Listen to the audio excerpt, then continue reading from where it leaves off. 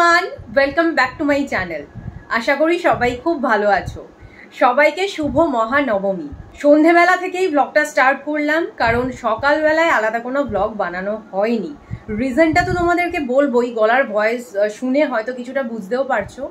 আর কালকে অষ্টমীর ব্লগে যেমনটা তোমাদেরকে দেখিয়েছি, আমরা যে কটা প্যান্ডেল দেখে ফিরেছি, তারপর বাকি দু তিনটে মেন মেন পুজো বাকি ছিল, সেগুলোতে যাওয়া হয়নি। ভালো ভালো কয়েকটা পুজো রয়েছে। তো আজকে সেই তিন চারটেতে যাওয়ার চেষ্টা করব, সেই জন্য রেডি হয়ে এখন তো বেরোবো। কিন্তু দেখা যাক ফাইনালি কটাতে যেতে পারি। আর রাত্রে ফেরার পর থেকে ফিরলাম তো দুটোতে, তারপর শুতে শুতে প্রায় চারটে বেজে গেছিল। এবার কালকে থেকে তো একটু শরীরটা খারাপ ছিলই, কিন্তু ভোরবেলাতে আমি প্রচণ্ডই অসুস্থ হয়ে পড়ি আরও তো সেই জন্য যাই হোক, সকালবেলায় উঠে মামার বাড়িতে যেতেও অনেকটা লেট হয়ে গেছিল, কারণ টোটো আসতে লেট করেছে। আর আমরা গিয়ে জাস্ট ওই বলা যায় শুধু খাবার টাইমেই গেছি একটু তাড়াতাড়ি যেতে পারিনি। সেই জন্য সকালবেলায় আর ব্লগ বানাবারও মুড ছিল না, কারণ একই জিনিস আর তোমাদেরকে কি দেখাবো? আর তারপরেও তো শরীরের এই কন্ডিশন কিন্তু তারপর ওই কালকের মতনই আবার এনার্জি নিয়ে এখন রেডি হয়ে স্টার্ট করছি বেরোনো, কারণ বছরে পুজো একবারই আসে। আবার আজকে সেজে পুজো রেডি হয়ে গেছি, শরীরটা প্রচণ্ডই খারাপ, কিন্তু তাও বাদবাকি ভিডিও তো করতেও হবে, বেরোতেও হবে। তো চলো এবার ফাইনালি বেরিয়ে পড়ব। অলরেডি ভিডিও স্টার্ট করে দিয়েছি। এখানে কি বলছে না বলছে কালকেও আমার পিছনে লেগেছিল। পাশাপাশি এই যে দুজন বসে আছে একজন তো পারলে সারাক্ষণ বাড়ি থেকে বের করাতে পারলে বাঁচে। কখন বেরোবে কখন বেরোবে?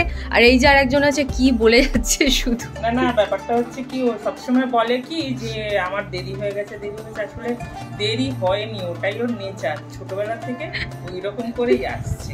তাই আমি এগ্রি করেছি এটা আমার নেচার আমার হয়ে যায়।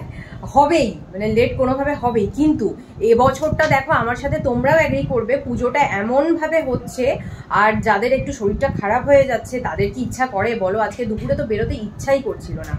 বাট তাও গেলাম দুপুরবেলা, কি করব আর ঘরে বসে? আর এবারে আমি বলেছি যে, পরের বছর থেকে তুমি যেন প্যান্ডেলে আটটার সময় চলে যাও। সকাল আটটা থেকে চলে যাবে, আমাকে যেন একদম ডাকবে না। আমাদের পাড়ার পুজোর কাছাকাছি চলে এসেছি বাট কালকের তুলনায় আজকে তো আবার ভিড় কম দেখছি। যে দুটো প্যান্ডেলে যাব ভাবছিলাম যে ভিড় হবে কি না কোন দিকে আগে যাব কি করব না করব এরকম একটা ভাবছিলাম। কারণ যে দুটো পুজোতে যাব আজকে তো টোটোয় ওঠারও ব্যাপার নেই যে নো এন্ট্রি থাকে লেটে যেতে হবে বা কিছু। আজকে তো হেঁটে হেঁটেই যেতে পারব যেহেতু কাছাকাছি। এই যে অনেক কম ভিড়। সেই পাড়ার ঠাকুর। পাড়ার মোড়ে চলে এলাম। যাব এবার লেফটে এই যে সঞ্জয় পল্লীর পুজোতে।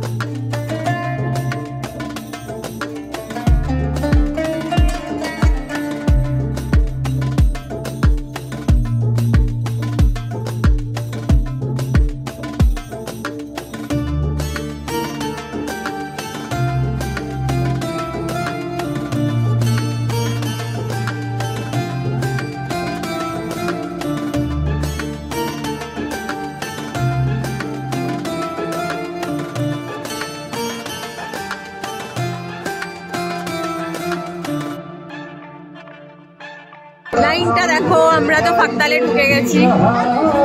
এইটাতে মনে হচ্ছে লাইন নেই।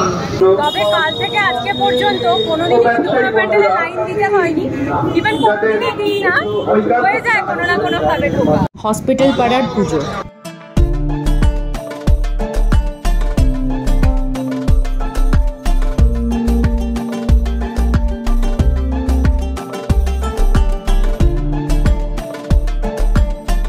এখন হসপিটাল মোড়ে সোজা এই যে থানার দিকটা, আর এই দিকে রয়েছে তাঁতকল। তো এখন এই দিকে যাব। মাঝখানে একটা বাড়িতে পুজো হচ্ছে, দেখে নি একটু। আমরা এখন তাঁতকল পাড়ার পুজোতে যাচ্ছি। দুখানা পুজো দেখা হয়ে গেল খুব কম টাইমের মধ্যে, ভীষণ ভালো লাগল। এবার এটাই যাই, দেখা যাক কি হয়।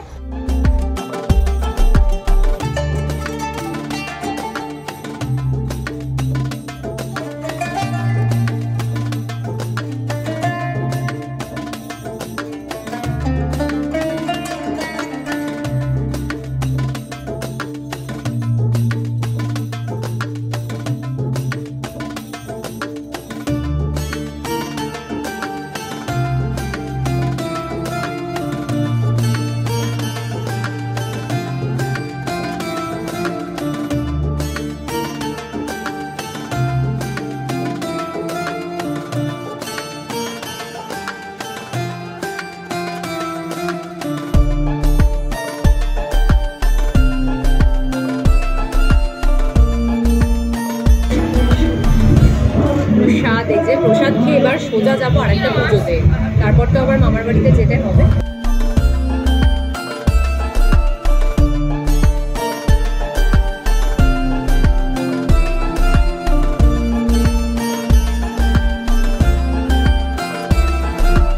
এবার সামনেই যে উঠব মিলন সংঘের মোড়ে। এইদিকে সোজা রয়েছে কাঠপোলের পুজো, যেটাতে কালকে গেছিলাম। সামনেই এই যে মিলন সংঘের পুজো, কাছে অপোজিটেই রয়েছে ভট্টাচার্য বাড়ির পুজো। তো এখানেই এখন ঢুকছি। বাট ফাঁকা। ঠাকুরকে বিসর্জন দেওয়া হবে, তোমাদেরকে একটু দেখিয়ে পারলে আলাদাভাবে একটা ব্লগে এই ঠাকুরের গল্প তোমাদের সাথে শেয়ার করব। আবার একটু ঢুকে পড়ি এই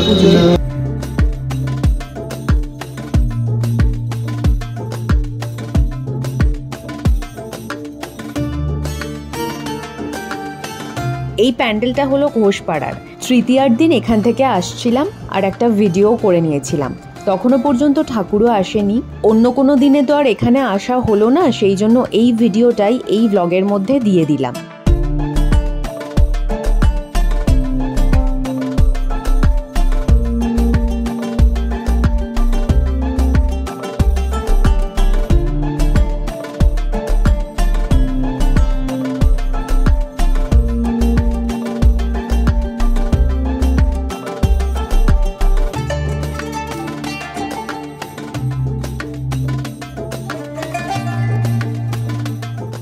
দশটা বাজে এক্স্যাক্টলি আমরা ওই মামার বাড়ির সামনে চলে এলাম। অনেক তাড়াতাড়ি আমাদের সবকিছু কমপ্লিট হয়ে গেল। খেতে চলে এলাম। ফার্স্টে গিয়ে পাপার মা বসেছে। এদিকে সবাই আসছে। খাওয়া হয়ে গেল আমাদের এখন যাচ্ছি নিচে একটা ভিডিও করতে হবে। তারপর হয়ে গেলে বাড়ি ফিরবো। হয়ে গেছে আমার কাজ। বারোটা বাজে আর এই যে গেট লাগানো হবে আর আমি দেখো তাড়াতাড়ি বাড়ি যাব বলে। ঠান্ডা লাগা তো চরম লেভেলে আর এইটা কি? বললে বললে কেন যে আমার খেতে ইচ্ছে হচ্ছে? আমার সত্যি খুব খেতে ইচ্ছা করছিল। দোকানটাও খোলা দেখলাম আমি। হ্যাঁ আর যেই দোকানটা খোলার সামনে বলছে খাবি? আর না না করলাম একবার তারপর আবার বললাম ঠিক আছে নাও। এবার বাড়িতে পৌঁছে আবার দুটো কাজ আছে। ওখানে তো ড্রেস চেঞ্জ করে একটা ভিডিও করেই নিলাম, যেটার ওই অ্যাম্বিয়েন্সটা দরকার ছিল আর কি। বাড়িতে যেটা হবে না। সো ওখানে ভালোভাবে ওটা করে নিলাম। আর এখন বাড়িতে আবার দুটো প্রমোশনের ফটো তোলা আছে জাস্ট সো সেটার জন্য আবার ওই প্রোডাক্টগুলো নিতে হবে বা আবার একটু ড্রেস চেঞ্জ করতে হবে। সেইগুলো করে তারপর ফ্রেশ হয়ে শুতে যাব। কালকে তো দশমী মানে আজকে তো দশমী পড়েই গেছে। বাট কালকে ওই হিসাব মতো দশমী ধরেই নিচ্ছি। কারণ কালকে ওই ভোরবেলার কোন অব্দি যেন দশমী থাকছে, তারপর তো একাদশী পড়ছে। আর সেই কারণেই একাদশীতে মামার বাড়ির ঠাকুরের কিন্তু বিসর্জন হচ্ছে না। সেইটা হচ্ছে পরশুদিন সকালবেলা, কারণ বিকেলবেলাতে আবার বোধ হয় পরের দিনটা কেটে যাচ্ছে বা কিছু একটা হবে। আর আমাদের ক্লাবের ঠাকুরের যে বিসর্জনটা হয়, সেটা যেমন দশমীর দিনে হওয়ার সেরকমই হবে। প্রতি বছরই ওই একই দিন দশমীর দিনেই বিসর্জন দিয়ে দেওয়া হয়। এখনও তো একদিনও ক্লাবে যেতেও পারিনি, জানি না কালকে যাওয়া হবে কি কিনা অ্যাটলিস্ট বিসর্জনের দিন তো থাকিই থাকি। অন্যান্য দিন একদিন যাই বা দুদিন যাই, দশমীর দিন প্রেজেন্ট থাকি। কালকে কি হয় দেখা যাক। আজকের ব্লগটাকে এখানেই এন্ড করছি। যদি কিছু ভালো লেগে থাকে, ভিডিওটাতে একটা লাইক দিয়ে দিও। চ্যানেলটাকে যারা যারা এখনও সাবস্ক্রাইব করনি, অবশ্যই সাবস্ক্রাইবও করে নিও। দেখা হচ্ছে নেক্সট ব্লগে সবাই খুব ভালো থেকো, সুস্থ থেকো। Till then by